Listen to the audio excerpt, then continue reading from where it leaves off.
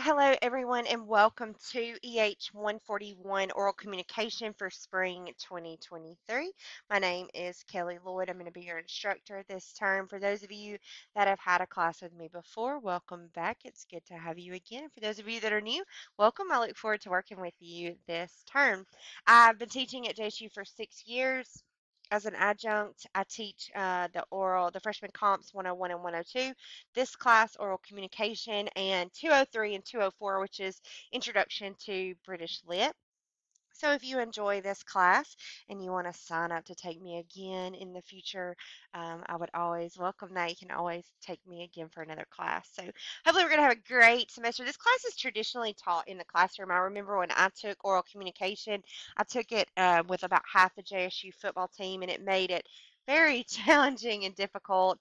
Um, but I learned a lot, you know, having to force myself to get up there. But, you know, we've retooled a lot of these classes now that we've kind of gone online and, and working, focusing mainly on the skills that you're going to need to be successful moving forward in your, um, your later college classes that you're going to take. And so that is exactly what this class is, is a preparation for the types of public speaking that you're going to need to know how to do um, in your classes moving forward. So I wanted to take just a couple of minutes and show you around the course in Canvas where to find all the information.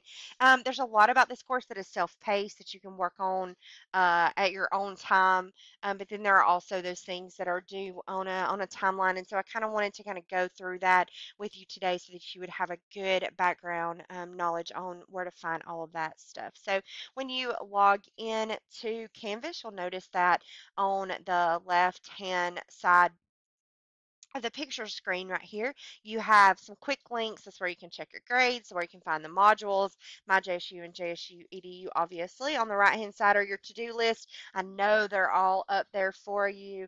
Um, and uh, on the right hand side, I know that to do list looks a little bit daunting, but I promise they're spaced out enough so that they're not, it's not a stressful, a stressful thing. Below that, you have some student learning outcomes. And then below that, you will find my contact information. And I'll also share my cell phone number with you in an email so that you will have that as well if you need to reach out to me. I'm very responsive. I'll get back to you as quickly as I can. I want you to be successful. I'm not dangling some kind of carrot over your head. Um, I want you to have a good course. I want you to have, learn a lot and, and I want you to be successful. And so I make myself available for you to reach out if you have questions or concerns or need some extra help.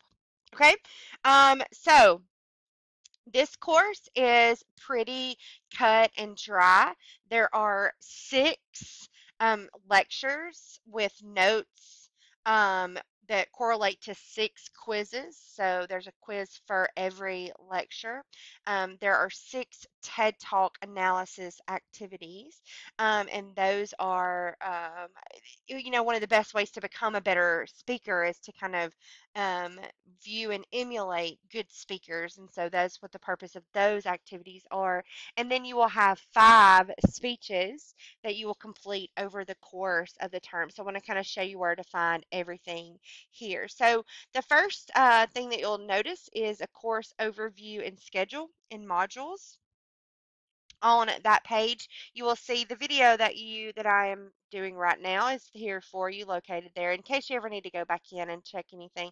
Below that will be a PDF copy of the JSU official syllabus for the course. And then below that are is a schedule uh, and due dates, what you should be working on. I kind of set up my class to be a Tuesday, Thursday, every other Friday kind of thing. You know, speeches are are due on Fridays, and so um, we don't work every Friday, obviously, mainly Tuesdays and Thursdays. Um, but before we kind of jump into the schedule, I want you to make sure that you're very mindful of due dates.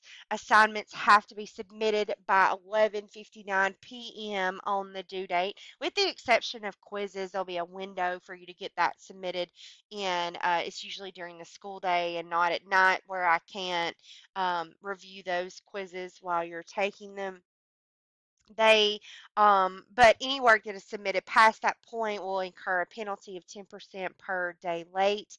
Uh, the TED Talk assignments, you have some wiggle room. You can, can submit those early um, but the speeches and quizzes must be submitted as scheduled. You can't take a quiz early. Okay, quizzes. If you are on the PV campus and you're taking this class online, you have to take the quiz with me in person. If you are not um, uh, on campus with me, you're taking it at home, you're taking it at a different school, then you will um, schedule a time to take the quiz so that quiz can be monitored. And we'll talk a little bit more on that coming up uh, closer to our first quiz. Quizzes are pretty short, seven to 10 minutes max to complete, um, but failure to take the quiz on the due date without a prearranged uh, exception from me will result in a zero for that quiz. So it's very important that you stay on top of that. Okay, all your resources are located in the individual modules, and each of the assignments are hyperlinked in this document um, as well as in each of the modules. So there's lots of places you can go and turn in work and, and view work, that kind of thing. Uh, there is a printable version. I encourage you to um, print that out so that you'll have the copy of this schedule uh, in front of you. And um, that's um, pretty helpful. But the one that is listed here has these hyperlinks um, for you to be able to submit work online. You'll notice that quizzes are always on Tuesdays. TED Talks are always due on Thursdays, and speeches are always due on Fridays. So that kind of helps, kind of keep help you keep track inside your mind. Um, uh, you know, it's a Thursday, and you're like, oh my gosh, I have a quiz today. No, it's not a quiz day. Tuesday's a quiz day. Thursday's a TED Talk day, and Friday is a speech day. So all of those here, what your activity, what you're supposed to do, and then if there's anything due, it'll be hyperlinked for you here in this course schedule. Um, going back to the modules, taking you to the lectures.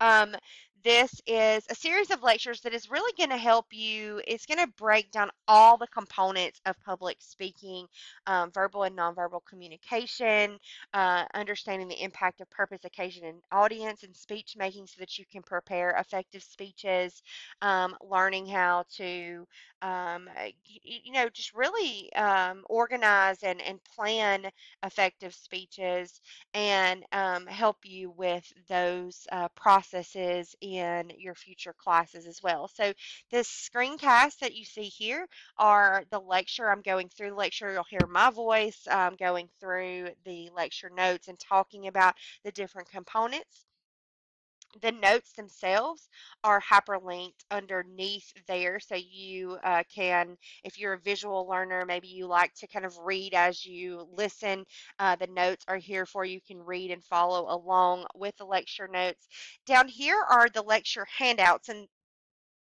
this is something to me um, that is really helpful it'll be helpful to you as well if you want if you have access to a printer uh, you want to print these documents out because they will give you a study guide because what is on the lecture uh, that is in bold will also be on your quizzes. So that's here for you. Print those out, fill them out as you're listening to the lecture, and then you'll have a great study guide to help you with your quizzes. And so all of six of those are here as well.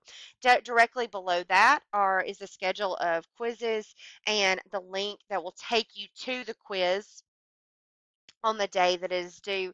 Each one of the quizzes has a um, code to get in. So on the test day, you'll text me and I'll give you the code or email and I'll give you the code to take the quiz. And then you'll start that quiz, be ready to take it when you text me the code, and you'll start that quiz within just a couple of minutes of receiving that X access code. All right, headed back to the modules page, you will find the next module, if it will thought I was fixing to get the wheel of death. Uh, you'll find the TED Talk speech analysis. I love TED Talks. Um, I hope that there are some of you that have listened to TED Talks before. There, you know, you can find a TED Talk on just about anything these days. But again, one of the best ways to become a better speaker is to study the moves that good speakers make. And so that really is the purpose of these TED Talk activities. It's taking those concepts that I'm talking about in the lecture series and then um, seeing that in play in the um, in the, in these TED Talk speeches, so that you can analyze them, you can analyze their effectiveness, and then maybe hopefully emulate and incorporate them into your own speeches. So there are six of those. The links to each of those are here. Below that, you will find a schedule of the TED Talk assignments. And I just wanted to kind of show you really quick uh, the assignment, the due date, um, and then a place to turn it in. But this is the important component here is this worksheet. And I'm actually going to download it so that we can open it full scale for you to be able to see it good. So the first page of each of your analysis activities is basically just a um, comprehension. I'm listening, I'm watching the TED Talk, and I'm filling out comprehension, either questions or notes or um, guided discussion on the TED Talk itself. Okay, so there's always that page, um, and it's tooled to each one of the TED Talks. Below that, on the second page, there is a um, kind of a, a scale a rating scale where the speech factors that are listed on the left hand side, these are all things that I'm going through in the lecture series.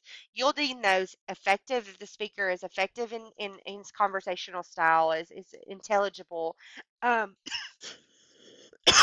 sorry, no excessive movements and gestures, but the ineffective and effectiveness of those things and then you'll justify why you gave it that rating. So if you felt that the speaker had a good conversational style you'll, you'll check mark effective or put an x and then you'll justify why you gave it that rating. Now you can print this out and write on it and take pictures of it and submit it as a PDF or pictures in the assignment, or you can open it with a um, PDF editing tool like Kami um, and save it as a PDF, type into the form and, and save it that way. So that is that um, particular assignment and there are places for you to be able to turn. This is the only assignment really that you can do ahead of time. So if you had a weekend and you really wanted to kind of knock them out, you could do that and you can turn those in ahead of time.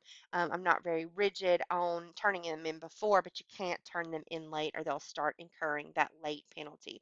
Okay, the last um, assignment, obviously, assignment set is your speeches that you have. You have five of those.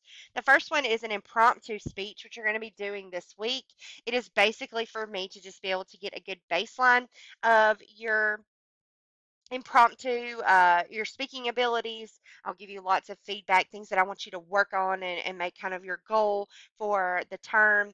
Um, and then you'll get 50 points just for doing the impromptu speech, even if you are horrible and you have uh, false starts and uh, and you stutter or you trip over your words, you'll get 50 points because it gives me a good baseline of things that I, um, I can help you develop further, um, things that you should work on, that kind of thing. And then the rest of them are all scripted speeches that have a particular um, uh, purpose and and prompt and that kind of thing. So I'm just going to open one so we can take a look at it together. Like this is speech number two. It's the demonstrative or the demonstration speech. It always will have the objective. It'll have directions for you how to do a successful speech. I gave you a sample on this one, like a sample outline, like I walked you through a demonstration speech example, um, and then you will compose your own and and um, and record it and that kind of thing. It also tells you whether or not you have to have a presentational aid, that kind of thing. Um, below that are the rubrics for each of the speeches. So what I'm looking for as I'm grading you, you'll be able to view that beforehand so that you'll have that knowledge. And then below that will be a place for you to turn those in. Last but not least, I have a um, recording yourself for an online class. This is a, um, a helpful, I guess, resource for you how to use Kaltura Media, Kaltura Capture to record yourself um, when you're doing your speeches, um, and then a Screencast-O-Matic, which is what I use extensively. Um, I just find that it's easier to use than Kaltura. Not that there's anything wrong with Kaltura. I'm just, you know, you don't reinvent the wheel if you find something that you're comfortable with. And then below that, how to use Screencast-O-Matic with both video and screen. So if you're doing a speech that requires a presentational aid, you can do both at the same time so that I can see your face um, and see your um, screen um, assignment. Okay, um, below that is the first assignment that is due this week that is located on that course agenda. Um, it's your About Me video introduction um, which is due on Thursday, I believe. Yeah, Thursday of this week. Um, and then your impromptu speech will be due Friday of this first week as well. So that that the instructions for that assignment are there. If you have any questions, don't hesitate to reach out. I'm looking forward to a great term with you guys in EH 141.